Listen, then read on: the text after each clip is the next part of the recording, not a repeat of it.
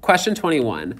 Alex makes ceramic bowls to sell at a monthly craft fair in a nearby city. Every month, she spends $50 on materials for the bowls from a local art store. At the fair, she sells each completed bowl for a total of $25, including tax. Which equation uh, expresses Alex's profit as a function of the number of bowls that she sells in a month? So if I look at all my answer choices, all my answer choices are written in the form y equals mx plus b, where m represents my slope or my rate, and then B represents my y-intercept, or my start value, or my initial amount. Um, and when we look at these application problems, the initial amount is basically like what you're spending to begin with. So if I look back to the question, we sort of need to pull apart those numbers and figure out which of those are slope and which of those are y-intercept.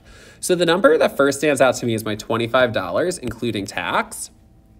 She's selling each of those bowls for 25 bucks. So that means if I sell one bowl, it's $25. If I sell two bowls, that's $25, $50, I mean. So that means my slope is gonna be 25. So when I go back to my equation, I'm gonna write down y equals 25x. But now here's the kicker. She's spending $50, so that's gonna dig into her profits. So I'm actually losing money to begin with, but the more bowls I sell, the more money I'll make and the more money I'll get back on my return.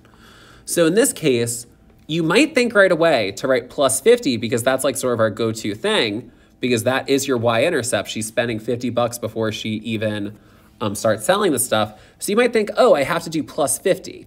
But if you look at your answer choices, there is no plus 50. But if I look at choice four, it says 25x minus 50, which is correct because if you think about it, she's spending $50 before she even, um, what is it called, sells the bowls. So the equation that would best represent this is choice four. Now you might be wondering, wait a second, why doesn't that have a y equals? Well, guess what? P of x is a fancy way of saying y equals. They're just using P because that's what profit stands for.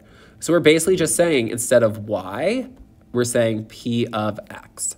So that's why it's choice four.